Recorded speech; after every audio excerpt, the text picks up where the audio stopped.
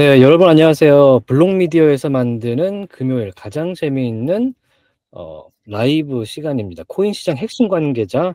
어, 오늘은 블록미디어에서 어, 저는 보도 제작 팀장을 맡고 있는 오진석 제가 어, 진행을 하도록 하겠습니다. 자, JJ 기자는 지금 패널로 함께하고 있고요. 오늘 특별 게스트 두 분을 오늘 이 자리에 함께 모셨습니다. 법무법인 광야의 예자선 변호사님 나와 주셨습니다. 안녕하세요. 네, 안녕하세요. 네, 그리고 샌드뱅크의 백훈종 이사님 함께 하십니다. 안녕하세요. 네, 안녕하세요. 네. 예자선 변호사님께서는 이제 crypto 업계에서 상당히 이름을 날리고 계신데, 어, 좋아하시는 분도 있고, 어떻게 보면은 조금 경계하시는 분들도 있고, 그렇습니다. 어떻게 느끼세요? 본인에 대해서?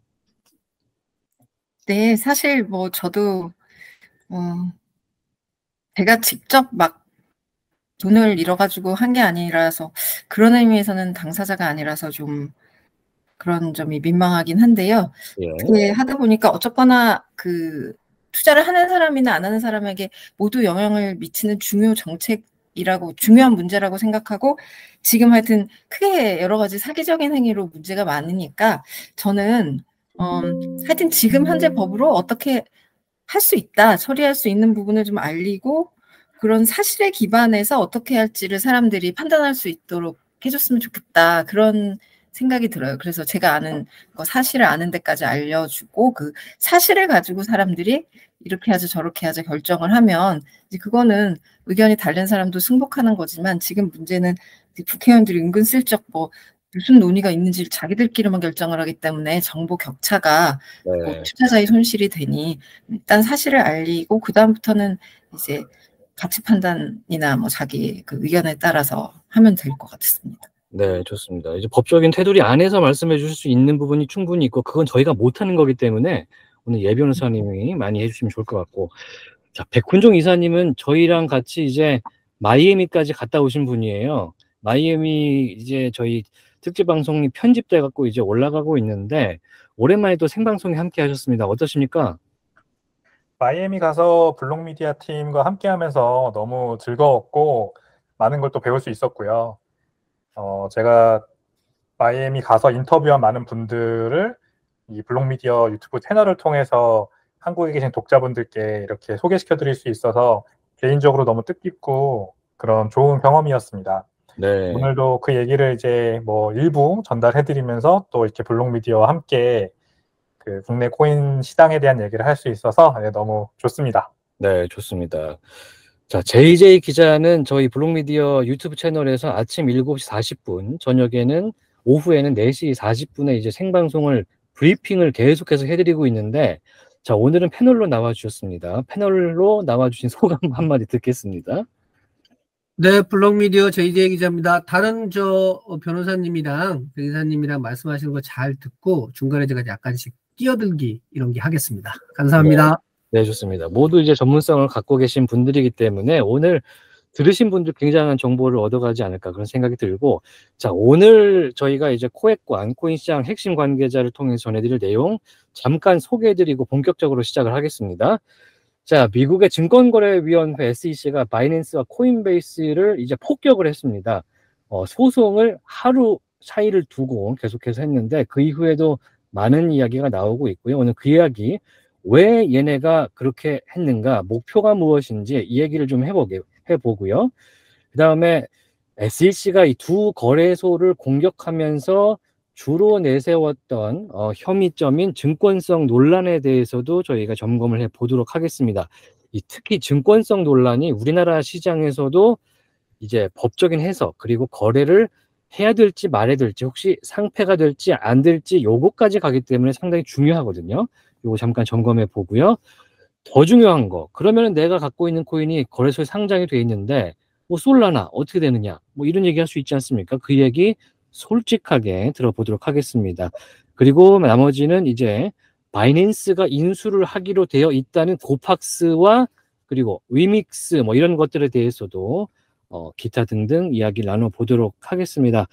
자, 첫 번째 주제로 넘어가 보겠습니다. 미국 SEC가 바이낸스와 코인베이스를 융단 폭격을 했습니다. 자, 하루 시차를 두고 자 저희도 이제 취재를 하고 기사를 쓰면서 깜짝깜짝 놀라는 게 이렇게 연타로 보고서를 내고 계속해서 이슈를 메이킹하는 능력이 너무나 탁월했다.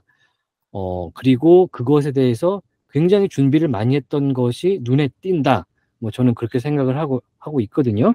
그래서 먼저 오늘은 자 예자선 변호사님부터 SEC가 이제 두 거래소를 쪼개려고 그랬는지 왜 그랬는지 어떻게 생각하시냐 한번 들어보도록 하겠습니다. 네, 일단 공통점으로 적으로 뭐고하려 그래도 법의 근거를 해야 되잖아요. 그래서 증권법을 근거로 한 것이므로 가상자산이 금융투자 상품에 해당된다고 본 전제에서 이제 여러 가지 위반 행위를 걸었다는 게 이제 전제입니다.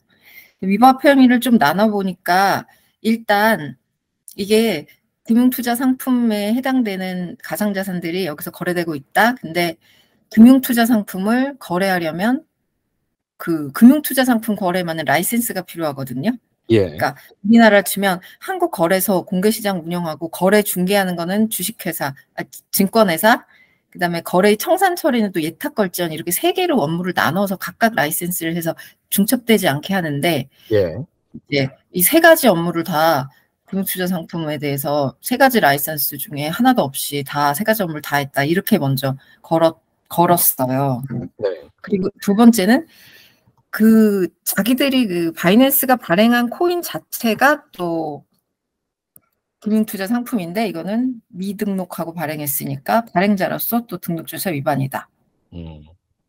그 다음에 이 거래소 운영 자체를 함에 있어서 그러니까 라이센스 자체가 없는 것도 문제지만 거래소 운영 자체를 부정하게 했다. 뭐 고객 예탁으로 받아놓은 거를 뭐 꺼내서 썼다든지 뭐 이런 식으로 했다고 하면서 거래소를 부정하게 운영해서 투자자 손해를 끼쳤다고 해서 거래소 운영에 대해서도 걸고 그 다음에 그러면 이제 걸 수 있는 거는 다 건 거죠. 음. 거래소의 운영 자체, 그 다음에 거래소 자체가 발행한 건 발행자로서, 그 다음에 거래 자체에 대한 또 그, 그, 무면허. 그냥 마지막인 게 저는 이제 사실 아무 생각 없이 바이낸스인 줄 알았는데 바이낸스 닷컴에 있고 바이낸스 US로 엄격하게 나눠져 있었나 봐요. 네. 그래서 미국에서는 이제 증권정보를 많이 규제하니까 바이낸스 US에는 상대적으로 상품이 적었는데 바이낸스 닷컴에다가 미국 사람들이 접속해서 거래를 하도록 방치를 했다. 그거 자체도 어, 위법으로 했더라고요. 지금 이제 미국 법은 미국 사람에게 영향을 미치는 모든 걸 적용되니까 어, 그렇게 해서 어, 네 가지를 해서 지금 했습니다. 근데 이게 전부 다 가상자산이 금융투자 상품이다라는 거 전제했죠. 그래서 음. 잠깐 제가 말을 끊고요. 금융투자 상품이기 때문에 이제 증권법에 따라서 증권으로 register를 한 뒤에 거래를 해야 되는데 여태까지 뭐 플랫폼도 그렇고 여기에 등록된 코인도 그렇고 증권법상 증권으로 등록된 게 아무것도 없으니까 네. 어, 맞아라 뭐 이런 얘기거든요. 백훈종 이사는 이번에 이제 뭐 사건이라고 해야 될까요? 이 이벤트들을 보면서 어떻게 보셨어요? SEC가 원래 코인베이스도 한 뭐한 3년 전부터 기소를 계속 하고 있고 예. 바이낸스도 US, 바이낸스 US를 이제 각가지 항목을 바꿔가면서 어, 계속해서 기소를 하고 있어요. 그래서 새로울 건 없다고 생각은 했는데 음, 문제는 저도 이제 코인데스크나 이런 데 나오는 해외 언론 기사를 보면서 이제 알게 된 내용이긴 하지만 바이낸스 같은 경우엔 특히나 좀 불법 행위가 있었다라는 게 사실상 그 SEC가 이 바이낸스를 기소하는 가장 큰 이유라는 생각이 들더라고요. 그러니까 여기서 불법이라는 거는 어떤 걸까요? 어, 이제 시세 조작을 했다. 어, 시세 조작이다. 마켓 메이커들을 고용을 해가지고 어, 거래량하고 가격을 인위적으로 조작했는데 그 마켓 메이커들은 이제 그 창펑자오 CEO가 가지고 있는 이제 다른 역 외에 있는 회사였다라거나 이제 이런 것들이 기사에 들어가 있는 내용이더라고요. 네. 이런 것들이 음, 우리나라도 5년 전에 그 박상기 전 범, 장관께서 거래소들 이제 다 문 닫게 할 수 있다라고 말씀하시고 난 이후에 그분이 예. 그분이 그렇게 말씀하시고 난 이후에 시장에 큰 폭락이 있었지만 어, 그 후에 또 엄청난 불장도 왔었고 아무튼 그런 시장의 여러 가지 변화된 모습과 다르게 상관없이 법적으로는 크게 이렇게 진일보한 면이 없는 것 같아요. 규제적으로 법적으로는 이 부분에 있어서 미국도 동일한 문제가 있는 게 아닌가. 그러니까 미국 내에서 여러 가지 규제가 뭐 마련되고 있고 뭐 법안이 발의가 됐고 이런 거는 매번 이제 기사를 통해 접하지만 바이낸스가 만약에 진짜로 그런 행위를 하고 있다. 바이낸스 US가 또는 창펑자오 CEO가 근데 이거를 직접적으로 뭐 증권이다 아니다부터 지금 우리가 얘기를 해야 되잖아요. 네. 그러니까 그냥 기소를 하고 있는 것 같아요. 음, 이거를 계속 눈 뜨고 볼 수 없으니까. 음. 그래서 네 빨리 규제가 필요하다라는 생각이 제 결론입니다. 네, 이제 JJ 기자한테도 여쭤볼 텐데 사실 이제 매일 뉴스를 보시면서 이제 following 하는 것 자체는 가장 빠르고 정확하게 알고 계시잖아요. 코인베이스와 바이낸스, 바이낸스와 코인베이스를 공격하는 데 있어서 분명한 차이점이 있고 그 다음에 미국 당국에서 노림수가 거기에도 좀 차이점이 있는 것 같거든요. 뭐가 다릅니까? 말씀하신 것처럼 코인베이스에 대한 압박은 어, 우리 백 이사님 말씀하신 것처럼 뭐 좀 됐고요. 그리고 바이낸스는 이제 노리고 있었던 것 같아요 분명히. 그래서 어, 예자선 변호사님 말씀하신 대로 그 소송의 당사자가 법인인 글로벌 저 바이낸스 어, 글로벌 그러니까 홀딩스 바이낸스 홀딩스도 들어 있고 창펑자오 개인에 대해서도 소송을 걸었거든요. 그리고 예.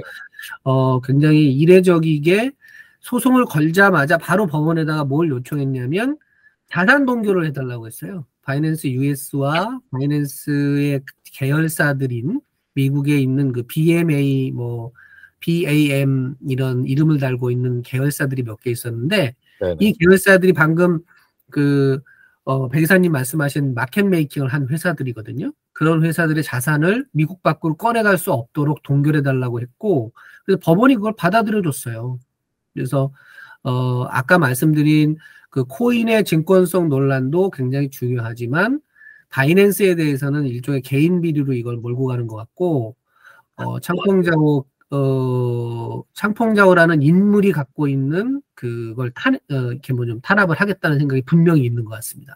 음. 그리고 코인베이스에 대해서는 제도적으로 그, 음, 이제 코인의 증권성 얘기를 계속 물고 늘어지고 있고, 또 하나 재밌는 거는 코인베이스의 그 기소장을 잘 보면 staking 서비스 자체를 증권 상품이라고 주장해요. 어, 음. SEC가. 그래서 이게 어, 확실히 다른 부분입니다. 한쪽은 개인 비리를 계속 부각시키고 코인베이스는 뭔가 제도적인 문제를 어, 집중적으로 부각시키고 있다는 거죠. 음. 여기서 궁금해지는 게 저 같은 경우는 이제 crypto 미디어에 온 지는 사실 지금 얼마 안 됐기 때문에 조금 더 자세하게 여쭤보면은 어, 플랫폼 staking 서비스 자체가 증권이라고 한다면 그러면은 증권으로 등록을 해서 그냥 영업을 지속할 수 있지 않냐라고 물어볼 수도 있거든요. 이거를 왜 이 crypto 플레이어들은 안 하려고 하는지도 궁금하긴 합니다. 먼저 이번 거꾸로 이제 제임스 정 기자한테 여쭤보겠습니다. 아, 그러니까 어, SEC의 노, 그 SEC가 staking 서비스가 증권 상품이다라고 하는 얘기를 할때 논리는 뭐냐면 어, 우리가 이더리움 같은 거를 이렇게 staking을 하면은 그 저도 지금 개인적으로 할 수 있거든요. 그냥 네. 그 제, 제가 이제 클릭 몇 번을 하면은 그렇죠. 근데 그게 아니라 그걸 코인베이스를 거쳐서 하라는 거예요. 코인베이스가 그런 상품을 만들었거든요. 우리한테 맡겨주시면 우리가 staking을 대신 해드리고요. 어, 이자를 드립니다. 이런 상품을 만들었어요. 그리고 수수료를 얼마 떼어가요. 그 코인베이스가. 네. 그러니까 SEC는 이거를 문제 삼은 거예요. 니네가 그걸 왜 중간에서 중간자 역할을 하냐. 어. 누군가 그러니까 정 JJ 기자가 제임스 정 기자가 직접 그냥 할 수 있는 걸 니네가 맡아서 함으로써 중간자이고 이걸 니네들이 마케팅을 했다.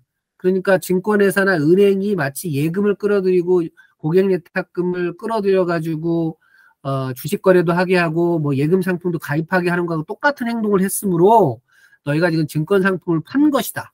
네. 그런데 그 증권 상품에 대해서 우리한테 등록을 안 했다. 그러니까 무등록 영업을 한 것이다. 이런 논리를 펴요. 음.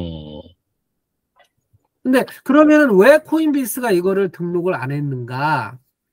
코인베이스의 주장은 자기네가 등록을 하려고 했는데 SEC가 그거를 모른 척 했다는 거예요. 이건, 이거는 이제 나중에 법정에서 어, 판가름이 나겠죠. 음. 음, 하려고 했으나 SEC가 받아주지 않았다 뭐 이런 거거든요. 그쪽. 네, 코인베이스는 일단은 그렇게 얘기해요. 우리가 이거 가지고 얼마나 너희들하고 얘기를 많이 하려고 했는데 그때는 이런 방구 말도 안 하다가 지금 이렇게 덜컥 어, 소송을 건 거냐. 어, 그래서 브라이언 암스트롱이 어, 잘 됐다 차라리 법정에서 가려보자 뭐 이러, 이러고 있는 상태죠. 음. 변호사님께도 좀 여쭤보겠습니다. 그러면은 이제 SEC 같은 경우는 증권이라는 어, 단어, security라는 단어를 가지고 상당히 많은 내용을 가지고 혐의를 잡아서 이제 소송 어, 소를 제기한 것인데 그러면 여기 중요한 거는 증권의 이 기준, 증권의 정의가 어떻게 되길래 어, SEC가 이 두 거래소와 이 여러 개의 코인을 가지고 증권으로 지목을 하고 이제 확정적으로 혐의를 잡아서 넘겼느냐. 그 그게 이제 문제가 되는 거거든요. 네, 네. 증권은 지금 뭐 한국하고 조금 다를 수 있지만 기본적으로 어떤 틀에서 증권이라고 그럽니까? 예. 네. 그 전에 잠깐 먼저 법의 속성을 좀 봐야 되는 게 우리가 법이 그냥 있다고 해서 저절로 집행이 되는 게 아니라 이제 실제 그게 특히 규제면은 누가 단속을 하고 이제 적용을 해서 이제 뭐 수사기관에 넘겨야 되든지 이러잖아요. 예, 예. 그래서 예를 들면 교통 위반을 사람들이 막 다 건널목을 교통 위반을 하- 음주운전을 해도 그 단속이 일제 단속이 들어가는 기간이 있고 아니고 그런 게 있어요. 그러니까 그렇다고 해서 음주운전 처벌 비용 자체가 없는 건 아닌데 이제 뭔가 그 어떤 게 사회 문제가 되면 그쪽에 이제 좀 집중을 해가지고 이제 단속이 들어가고 그런- 말한 말이죠. 네, 그런 부분인데 그러다 보니까 사실은 옛날부터 미국의 그 법은 똑같이 있고 그 코인들도 옛날부터 상장돼서 거래하던 코인이고 코인 거래소도 옛날부터 그렇게 하고 있었는데 이제 미국에서 기준을 발표해 놓고 슬슬 한두 개 적용하다가 요즘에 이제 더 세게 집중 단속에 나섰다. 그러니까 법 자체가 변한 게 아니라 그러니까 뭔가 이제 거- 그런 배경은 이제 나중에 또 한번 저희가 얘기를 해봐야 되겠죠. 그런 상태인데 그럼 이 근거는 뭐냐면 그 이제 돈을 이렇게 지불을 하잖아요. 가상자산을 주면서 이 관계를 무슨 관계로 하느냐. 그냥 아예 도박으로 중국처럼 금지하거나 박상기 법무부 장관 말처럼 예전에 아예 거래소 자체를 금지하는 지 않고 이제 열어놨을 때는 투자라고 투자 관계라고 보는 거죠. 사실 금융 금 돈을 투자를 한 관계다 보니까 그거를 규제하는 게 자본시장법이라서요. 자본시장법에서 금융투자 상품에 대해서는 사전에 금융투자 상품은 내가 일을 하지 않고 남에게 돈을 투자해서 그냥 돈만 따먹으려고 하는 것이 어떤 권리를 어딘가에 담아서 증권화한 것을 말하기 때문에 어 이제 두 크게 핵심적으로 두 개의 규제가 있어요. 돈을 모으기 전에 공시를 하는 거죠. 증권신고서라는 형태로 이 네. 사업 자금 어디, 쓸, 어디 쓸지. 그 다음에 두 번째는 부정한 거래를 했을 때 이게 증권화돼 있기 때문에 사업과 관련 사업의 이제 어떤 거에 따라서 이, 증, 이 가치가 등락하다 보니까 뭐 허위 사실이라든지 시대 조정 자체로 막 이제 악용이 될 수가 있으니까 그런 행위를 처벌하는 규정을 두 개를 두고 있어요. 그래서 어 아까 말한 뭐 지금 공 공모 절차를 안 받고 상장되어 있다. 이거 자체는 뭐 기간을 주고 얼마든지 신고하게 하거나 이런 식으로 할 수도 있겠죠. 근데 이제 부정거래가 있었다고 보면 그거는 어떤 면책의 사실 논의 대상이 아니기 때문에 이제 처벌을 해야 되니 부정거래를 잡을 때는 이양 이제 보통 죄를 잡을 때는 걸리는 범죄는 다 적시를 하게 돼, 되잖아요. 그러다 보니까 이양 먼저 결론을 내린 거죠. 이제 이게 부정거래 부분이 처벌이 필요하다고 생각했을 때는 부정거래로도 배소를 하지만 처음부터 따져서 너 그리고 이거 처음에 아예 발행한 것 자체도 공모 절차 위반이야. 또 끼워 넣는 거죠. 그래서 공모 절차 위반 자체를 뭐 잡으려고 하면 그것만 문제 삼을 거면 아예 건드리지 않았을 것이고 변호사님, 변호사님. 네. 저 이제 말씀을 듣다 보니까 말씀 끊어서 죄송한데 네. 너무 어려워요. 아 예. 네. 아 그런데 얼굴이 보이는 게 아니라서 이제 예. 법적인 용어스럽게 나가면 이제 사람들이 깜짝깜짝 놀라거든요. 그래서 아 예, 예. 이제 이제 어, 조금 풀어, 쉽게 풀어주시면 더 감사할 것 같아요. 아, 알겠습니다. 네. 어, 그러니까 이제 법이라는 건 있는데, 이제 이걸 얼마나 세게 다- 저- 단속을 하느냐, 안 하느냐가는 이제 그 당시 정책의 문제로 결정을 하는 거고, 미국에서는 좀 더 세게 단속 기간에 들어선 걸로 보이는 거죠. 음. 아까 말씀해 주신 것처럼 이 태도 자체가 기본적으로 변한 건 아닌데, 그랬을 때 이제 금융 투자 상품이라고 하는 거는 여기 이제 정의가 있어요. 근데 되게 포괄적인 정의예요. 어, 타인의 사업에 공동으로 자금을 투자하고 그, 그 사업의 결과에 따라서 수익, 손익이 기속되는 계약상의 권리라고 돼 있어요. 어, 손익이 귀속되는 남의 사업에 투자하고 손익이 귀속된다. 그러니까 네. 남의 사업에 투자해서 돈 벌 수 있거나 잃을 수도 있다. 뭐 이게 네, 그렇죠. 거죠? 그렇게 되어 있어요. 타인의 사업에 공동으로 투자를 해야 돼요. 여러 사람이. 어디서 많이 본 건데. 그쵸. 왜 1대1로 투자를 하면은 그거는 민법이나 상법으로 보는 거지. 이거 금융트를 상품이라는 것 자체는 사업을 하면서 여러 사람으로부터 돈을 끌어모으는 거기 때문에 이게 효과도 크고 또 그만큼 이제 잘 봐야 되 니까 자본시장법으로 따로 규제를 하는 거거든요. 예. 그래서 돈 모으기 전에 미리 어떻게 사업했을지 공시하시오. 그 다음에 이거와 관련된 부정거래가 있으면 처벌하겠습니다. 이게 두- 이런 규정을 둔 거죠.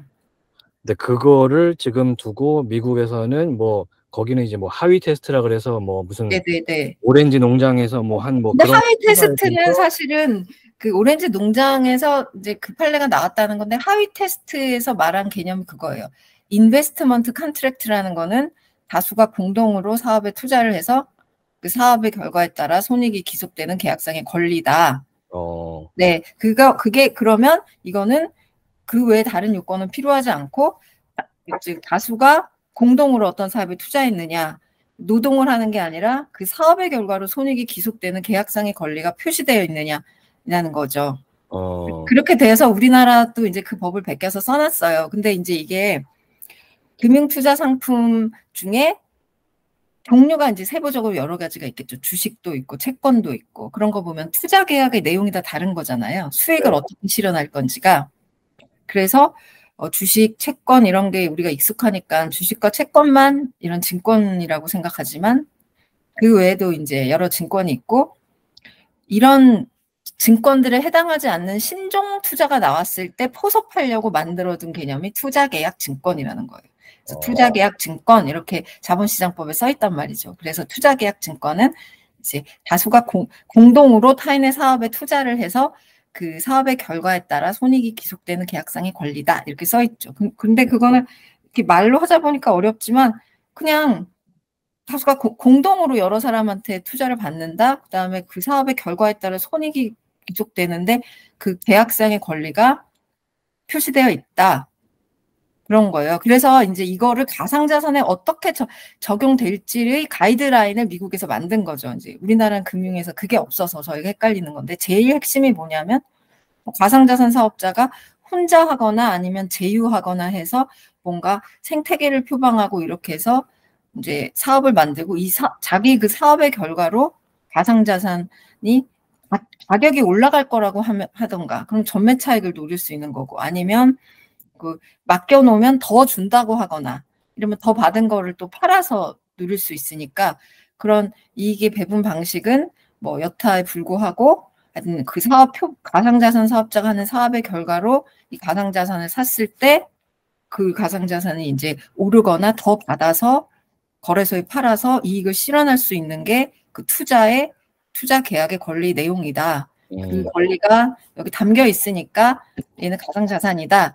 이제 투- 투자계약 증권이다. 이렇게 보는 거죠. 그래서 이제 투자계약 증권은 사실 일상에서 보기는 어려운 증권이 없는 증권이죠. 그러니까 새로운 게 들어왔을 때 이거를 특별히 허용해 주거나 아니면 그 이상한 투자 관계를 걸러내려고 사실은 있는 목적이에요.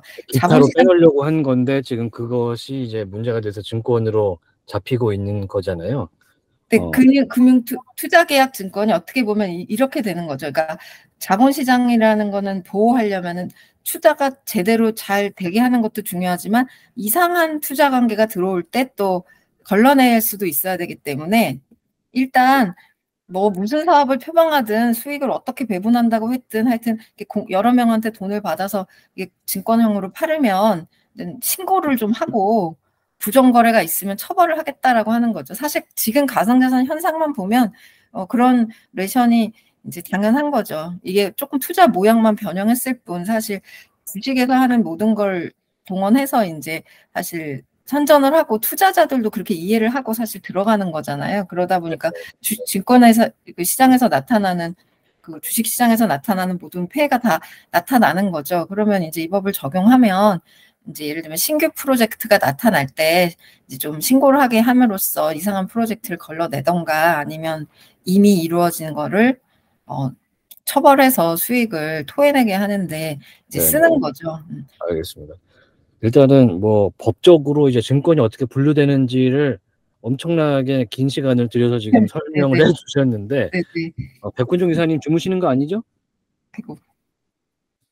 어, 예, 좀 자고 있었습니다. 네, 지금 뭐 채팅창에도 굉장히 어, 말씀들이 없으셔 없어졌기 때문에 어머, 혹시 궁금한 게 있으시면 좀 어, 채팅창에 남겨주시면 저희가 이제 변호사님이나 이사님한테 여쭤보도록 하고요.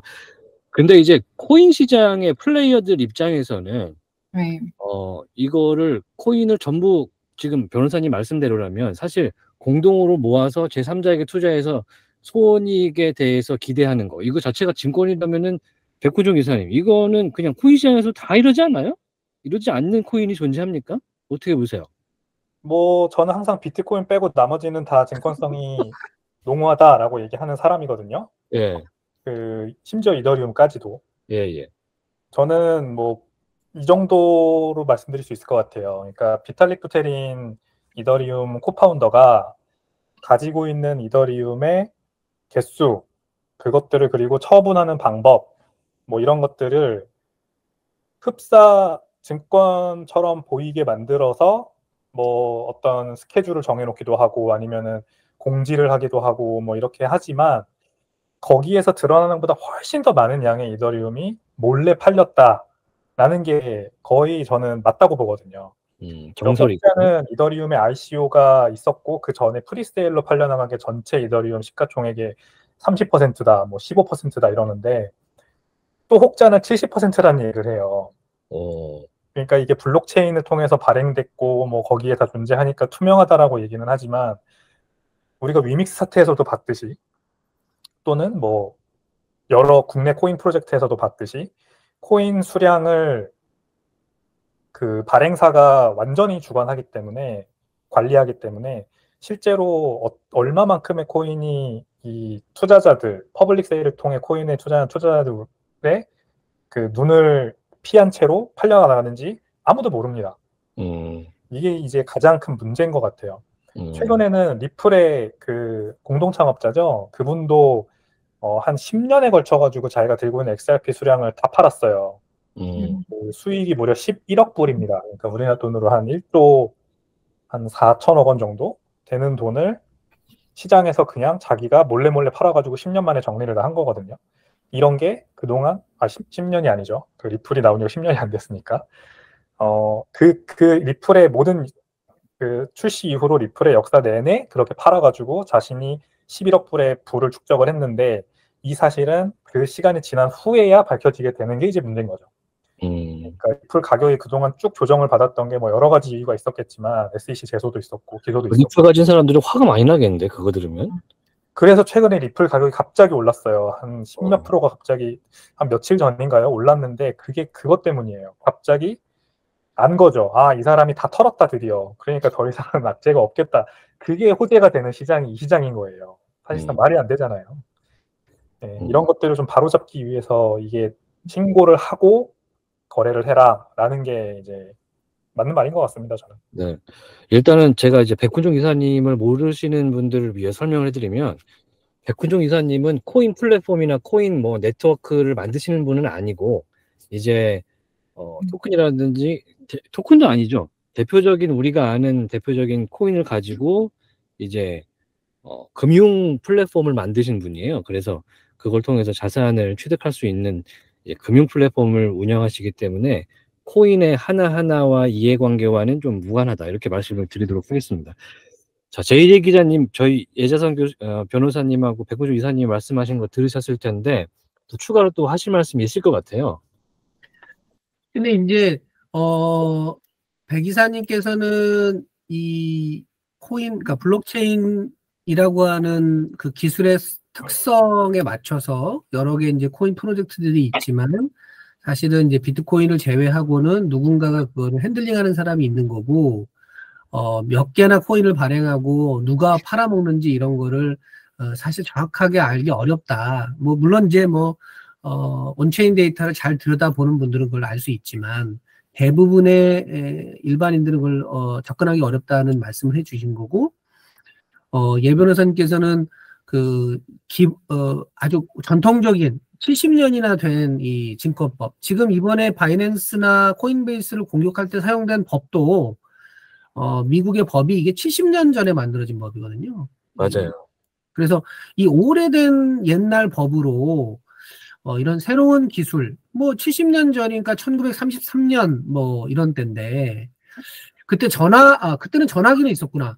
어, 인터넷도 당연히 없었고 전기 자동차도 당연히 없고 핸드폰도 없는 그런 시절과 지금과 비교했을 때 이거를 어, 이, 이 복잡한 코인 세상을 70년 된 법으로 어, 뭔가 이렇게 규정하려고 하는 것이, 규율하려고 하는 것이 맞는 거냐, 음. 이런 거고, 저한테 마, 아, 마침 기회를 주셨으니까 하나만 변호사님께 궁금한 거는, 네, SEC가, SEC가 그 코인베이스의 그 staking 서비스 제공은 문제를 삼았어요.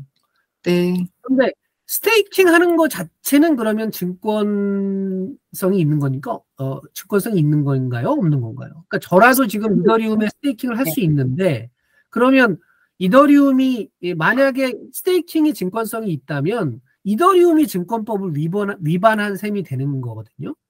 어떻게 되나요? 그러니까 뭐 아마 우리가 뭐 금융투자 상품이라는 게 기초 자산 자체를 거래하는 것도 있고 뭐 그걸 가지고 또 파생을 만들기도 하고 하잖아요. 그러니까 아마 어 어떤 코인을 발행해서 파는 것 자체가 그 코인의 전매 차익 또는 어을 주장을 하면 그거 자체가 투자 계약 증권의 발행이라고 보기도 하고 아니면 어떤 코인을 맡겨서 돈을 더 주는 그 프로그램 자체를 하나의 상품으로 봐서 그걸 또 어떤 어, 증권이라고 보기도 하고 이러는 것 같아요. 아, 근데, 그래서 근데 그런 논리로 따지고 들면은, 사실 세상에 증권 아닌 음. 서비스는 없을 것 같아요. 그러니까요. 근데 뭐 이럴 수는 있을 것 같아요. 부동산도 보면 사고 팔고 하면서 엄청 투자하잖아요. 근데 그리고 이렇게 단위대로 돼 있어서 부동산도 증권이네 이런 말이 나올 수 있는데 그 사업자 기준으로 보면 되거든요. 사실 그림도 사는 사람 입장에서는 다 오르길 바라면서 투자하는 거라 그 사는 사람 입장에서 보면 다 투자성은 있는 거고 사업자가 이 아파트 같은 거는 만들어서 팔면 뭐 100개를 만들어서 100채를 다 팔아버리고 나면 그걸로 끝이고 또 가격을 조정해서 자기가 더, 더 많이 가지고 있다가 그걸 올려가지고 자기도 더 파는 그런 사업이 아니라서 이제 그냥 거래시장은 거래시장대로 분양시장은 분양시장대로 규제를 하는 건데 이 주식이나 가상자산 같은 이제 금융 투자 상품으로 보는 것들은 그 사업자의 노력에 따라 그 증권 자체의 가격이 계속 올라갔다 내려갔다 하는 것 자체가 사업의 내용이고 그게 투자를 하, 하라고 하는 뭐 이제 유인도 그렇게 하고 투자를 하는 사람도 그걸 바라고 하는 거라서 그 시세 조정 자체를 규제할 필요가 많아서 이제 그런 처벌 규정을 둔 거죠. 그래서 제 생각에는 그 이런 것 같아요. 지금 이, 그 70년대 법이냐 이런 얘기는 아마 이런 거에서 나오는 것 같아요. 저도 좀 이런 이해가 되는 거는 그러면 안 된다고 할 거면 예전에 안 된다고 했으면 아예 투자를 안 했을 거 아니에요.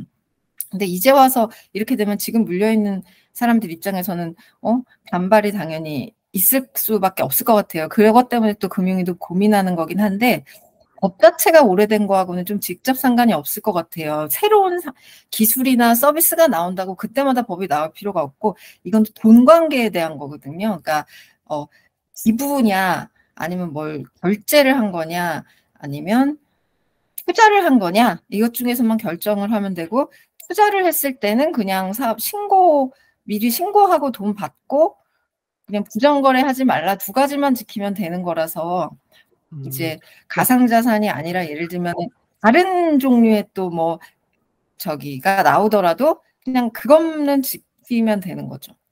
음. 그래서 약간 이런 느낌 더 같아요. 먼저 정책을 그러니까 결론을 내려 내 약간 사실은 답정너 같은 느낌이 있어요. 그러니까 결론을 내리는 거죠. 근데 이대로 두면 안 되겠다 이렇게 생각했을 때는 이- 이게 투자한 거잖아요, 사람들이. 근데 이런 식의 투자가 계속돼서 아까처럼 뭐 혼자 11조를 가지고 막 시중만 되고 이래도 이게 안 되겠다, 이게 좀 막아야겠다고 생각하면 그 저기 어디 이제 그좀 가져와봐라고 하면 그 뭐 어, 여기 투자계약 증권도 되고 이렇게 해서 적용을 하는 거고 좀 놔두겠다고 하면 그냥 두는 거죠. 그래서 음. 그런 거를 이제 결정을 이제 해야 되는 거죠. JJ 기자요?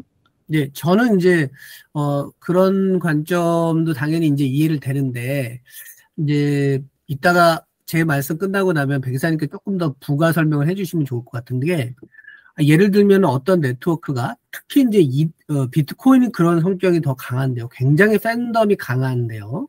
우리가 마이애미에서 봤던 것처럼 비트코인을 내가 사는 이유가 이게 가격이 오를 것 때문 오르기 때문이야라고 하는 분들도 있어요. 대부분이 그런 이유예요. 그렇지만 제가 마이애미 현장에서 가본 이유는 어, 현장에서 본 건 뭐냐면 비트코인이 갖고 있는 철학이 너무 좋고 이 이 메커니즘이 에, 어떤 중앙화된 금융으로부터 나를 해방시켜 줄 거야 라고 하는 생각에 내가 동의해. 그리고 이 사람들 어떤 이런 자유로운 문화나 생각이 좋아. 이게 약간 문화적인 성격도 있어요. 그래서 이제 비트코인을 사기도 하거든요. 근데 이런 경우에는 그건 단순히 투자는 아니라는 거죠.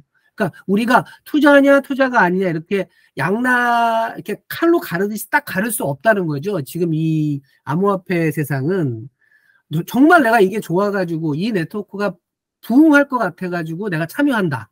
그게 이제 비트코인이다. 또 어떤 사람은 이 이더리움 네트워크, 네트워크가 너무너무 좋다. 이게 international한 글로벌한 일종의 컴퓨터를 만드는 행위이기 때문에 내가 거기에 참여하는 거고 그래서 나는 staking을 하는 거야. 근데 그 staking을 편하게 해준다고 하니까 그냥 코인베이스에 맡긴 거야. 이렇게 하는 사람도 있을 수 있다는 거죠. 근데 그거를 그러면 그런 행동을 투자니까 너는 금융 투자를 한 거니까 그런 거를 만든 코인베이스나 이더리움 재단을 그러면 미, 미등록 증권 발행한 거로 사법 처리를 할 것이냐. 그, 그런 논리 따지면 이더리움을 사법 처리를 해야 되거든요. 아, 비트코인- 네네. 저는 비트코인은 사법 처리를 할 수 있는 주체가 없지. 사토시 나카모토가 누군지 모르는 맞아요, 맞아요. 비트코인은 그 주체가 없어서 그런 건데 저는 네. 그래서 그거를 그 돈을 쓰는 투자자 입장에서는 저- 전혀 구별할 수가 없는 문제예요. 그게 아니고 법 적용을 할 땐 사업 구조로 보, 보면 되거든요. 그래서 근데 비트코인 같이 사- 발행 사업자가 누가 있어서 내가 이걸 해서 올려줄게라는 어떤 계약 관계가 성립하면 투자 계약 증권이고 이더리움은 이제 그게 채굴이 좀 있으니까 애매하긴 하지만 나머지들은 그런 사업자가 있으니까 뭐 그거를 오를 거라고 산 사람이 또 있고 아니면 뭐 그냥 진짜 철학이 좋아서 산 사람 그런 산 사람을 따지는 게 아니라 사업자가 돈을 버는 구조가 사업자 자체가 많이 발행해 놓고 이거를 생태계를 끌어서 그럼 이게 올라가면 사업자도 코인을 더 팔아서 돈을 버는 그런 사업인 경우에 투자계약 증권이라고 보는 거죠. 그래서 아까 아파트처럼 아무리 아파트 사람들이 투기하려고 사도 건설사가 팔 때는 그냥 건설사는 남은 물량이 없잖아요. 팔고 나면 끝이니까 그거는 건설사가 투자계약 증권을 발행했다고 안 보는 것처럼 사업자 기준으로 투자 규제를 하는 거예요. 이 법은. 음. 그러니까 일단은 JJ 기자님은 시장에서 이제 플레이어들이 체감하는 부분 그런 부분을 조금 네네. 더 보시는 것 같고요. 그리고 이제 예 변호사님 같은 경우에는 법률가시다 보니까 SEC가 판단할 때 이제 법적으로 보는 거죠. 법률 문서에 어떻게 써 있느냐에 따라서만 본다. 뭐 이런 지금 약간 반대되는 성향 어. 생각을 갖고 계신 것 같은데 이제 실제로 플레이어를 하고 있고 서비스를 운영하고 계시는 백훈종 이사 입장에서는 샌드뱅크에서 운영되는 그런 코인들이 있어요. 근데 이것들이 만약에 SEC에서 이야기하는 그런 코인 중에 하나로 언급되거나 했을 때에는 어떤 감정이 들 것 같아요? 그리고 또 이런 증권성 논란에 대해서는 또 어떻게 또 보고 계세요? 아까 뭐 말씀을 해주셨긴 했는데. 만약에 저희가 가지고 저희가 취급하는 코인들 중에 대다수가 증권으로 헌명난다면 빨리 그 코인들은 내려야죠. 음, 그리고 비트코인만 남겨놔야겠죠. 그 지금은 저희 뭐 정확한 수치는 말씀드릴 수 없지만 저희 서비스 내에서도 거의 과반수가 비트코인 AUM으로 이루어져 있거든요.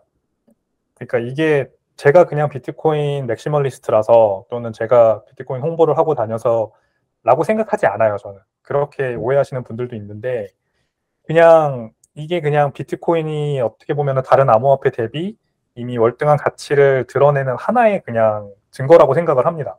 음, 증권성이 있다 또는 어떤 일부 코인들은 뭐 법적인 규제적인 문제가 있다라고 하는 게 다른 말로 치환하면 use case가 없다예요. 음, use case가 있으면 명확한 use case가 있으면 이게 증권이건 뭐건 간에 어, 사람들은 투자를 할 겁니다. 가격이 상승이 완전히 예상이 되므로 예, 그 리스크가 있겠지만 하지만 use case를 찾지 못하는 경우가 대부분인 게 이게 이제 가장 큰 문제라고 저는 생각하는데 앞단에서 ICO를 해서 자금을 모아서 프로젝트를 만들고 mainnet을 개발해서 launching을 한 다음에 그 다음에 use case를 찾아 나가는 게 일반적인 코인 프로젝트들의 문법이잖아요. 네, 그러니까 이 모럴 해저드가 일어나는 거예요. 앞단에서 음. 자금을 땡겨버리니까. 그리고 그 처음에 약속했던 로드맵, 투명하게 관리하겠다라고 했던 약속 이런 것들은 잘 이행이 되지 않는 거죠. 음, 이런 문제에서 가장 자유로운 게 비트코인이고 사람들은 의식적으로 또는 무의식적으로 그걸 아는 거예요. 그래서 장기적으로 투자할 건 비트코인이다. 샌드뱅크는 코인 투자를 도와주는 장기 투자를 도와주는 플랫폼인데 무엇을 여기다가 담궈 놔야 좋겠느냐 라는 음, 관점에서 비트코인이 선택받고 있는 거죠. 음, 깨알 같은 홍보까지 감사하고요. 우선은 뭐 비트 매치기심 때문에 뭐 비트코인에 대한 찬사를 아끼지는 않고 계신데, 근데 방금 말씀해 주신 것 자체가 뭐 다른 분들 다 알고 계시겠지만 2018년, 2017년에 있었던 이제 대란 같은 것들, ICO의 형태가 그냥 조금씩 바뀌면서 결국엔 어차피 증권으로 인식될 수밖에 없는 상황으로 그냥 끌고 온 거 아닌가라는 생각이 들거든요. 어떻게 보세요, 제이제 기자님?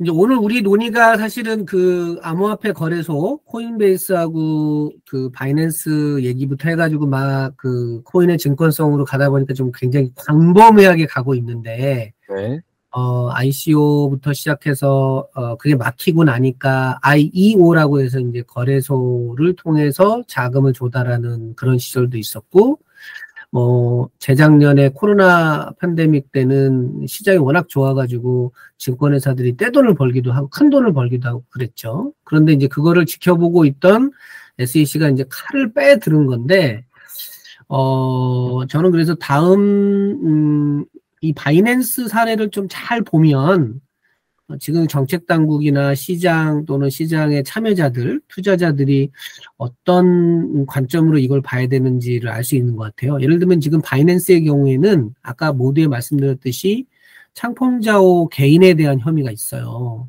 음, 그래서 어, 바이낸스 자체가 무등록 증권을 거래했지만 그래서 그것도 문제 삼지만 창펑자 아, 그리고 이제 바이낸스가 KYC를 잘못하고 있다. 그래서 자금 세탁을 해줬다 이런 음, 지적들이 계속 있었거든요. 그렇죠.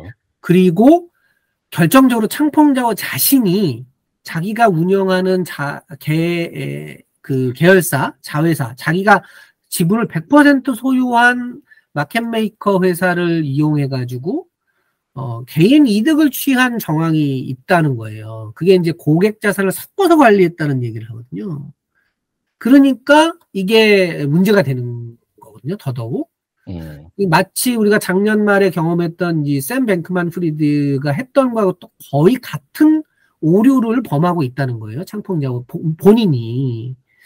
그래서 어 원래 디지털 자산 시장의 철학적인 배경이나 기술적인 배경은 어떤 특정인한테 의존하지 않는 거거든요. 근데 지금 공교롭게도 바이낸스는 창풍자오라고 하는 걸출한 CEO가 가장 강력한 리스크 요소예요. 만약에 여- 이런 상황에서 미국이 창펑자오한테 유죄를 때리고 유죄 판결이 나오고 거액의 그뭐 어, 지금 이제 우리 소장에 보면은 이런 식으로 부당 이익을 어, 얻어낸 부당 이익은 환수하겠다고 돼 있거든요. SEC 그 소송장에는. 네. 그럼 지- 금전적으로도 상품자가 엄청나게 돈을 물어야 되고 아마 바이낸스 CEO 자리를 유지하기 유지하기 어려울 수도 있어요. 극단적으로 가면.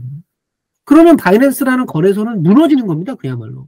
그러니까 음, 우리가 네트워크를 공격을 할 때에 해커들이 어디를 찾아 들어가야 이 시스템을 점령할 수 있는지를 찾거든요. 그런 그 취약점을 찾아내요. 근데 지금 바이낸스의 가장 취약점은 창통자오 자신이에요. 근데 지금 법률적으로는 그런 리스크에 몰려 있어요, 사실. 그러니까 어, 월, 어, 가장 최첨단이라고 하는 이 탈중앙화의 이념에 맞는 그 시장, 탈중앙화의 이념에 맞는 어떤 그 사업을 하겠다고 하는 바이낸스가 가장 탈중앙화 되지 않은 위험을 갖고 있는 거죠. 이게 모순이라는 거죠, 이게. 그래서 그러게요. 어, 백 이사님께서 말씀하신 그런 모순이 없는 디지털 자산이 뭐냐. 이제 백 이사님은 그걸 블로, 어, 비트코인이라고 생각하시는 거고, 많은 비트코인 maximalist들이 그렇게 생각을 하죠. 근데 저는 뭐, 어, 그런 말에도 동의하지만, 어, 다른 그 블록체인 프로젝트들도 얼마든지 그 설계를 잘 하면 탈중앙화가 된 상태에서 비즈니스 할 수 있다고 봐요. 그게 이제 Web3의 이념이기도 한데, 어, 그게 그럼 왜 없느냐? 다들 말로는 Web3라고 얘기를 하면서 행동을 Web2처럼 행동을 해서 그런 거라는 생각이 들어요. 그 기술이나 지, 지향하는 바가 옳음에도 불구하고 행동을 그렇게 한다는 거죠. 바이낸스, 기술만 기술이다. 예, 창펑자오 자신도 어, 여러 기회에 그런 얘기를 했거든요. 뭐, 거래소는 투명하게 운영을 해야 되고, 우리는 고객이 최선이고, 나중에는, 바이낸스가 최초기에는 그랬어요. 어느 정도 바이낸스가 일정 수준에 올라가면 DEX처럼 변할 거다, 이런 말 했죠. 근데 이거 완전히 공수표죠. 지금은 창펑자오 없는 바이낸스는 생각할 수도 없어요. 그리고 본인이 지금 저렇게 기소를 당하니까 조직이 흔들리는 거죠. 그러니까 말은 Web3처럼 생각하고 말은 탈중앙화라고 얘기하는데 행동이나 실제 그 구조는 다 Web2처럼 만들어 놓은 것이 저는 문제라고 보고 어 그래서 이제 저희 고객 어, 저희 그 독자님들이나 저희 기사를 쓸 때에도 그런 걸 꼭 고민을 해봤으면 좋겠다는 생각을 하는 거예요. 어떤 코인이 뭐 누가 누가 만들었는데 그게 굉장히 뭐 유명한 사람이 만들었고 그러니까 사자 이제 그런 시대는 안, 안 돼야 되는데 우리가 작년에도 그걸 경험을 했는데 그게 그 대표적인 경우가 권도영이잖아요. 권도영이가 좋은 학교 나왔고 그 뒤에 백커들이 뭐 어마무시한 백커가 있고 그러니까 테라 루나는 절대 망하지 않을 거야라고 했다가 그냥 한순간에 망한 것처럼 어, 누군가가 이 어떤 유명한 사람이 머리 좋은 사람이 했다고 해서 그걸 그냥 따라하면 안 되는데 어, 우리 현실은 그렇지 않다는 거죠. 음. 그런 것들을 좀 반성해야 되지 않나 하는 생각을 합니다. 이 소송전과 관련해서는. 음. 뭐 장펑자오 같은 경우는 사실 뭐 미국에서 이제 뭐 JP 모건이라 이런 데 보면은 CEO들이 사실 언론에 많이 나오잖아요. 그런 사람이 되고 싶지 않았을까. FTX의 뽀구리도 마찬가지고 이제 보통 CEO들이 그렇게 인플루언서가 되는 경우에 회사가 잘 되는 경우가 많았기 때문에 특히 금융사들이 어 그런 것들이 있고 또 알리바바의 마윈 같은 사람이 모델일 수도 있지 않을까라는 생각 개인적으로 좀 해 봅니다.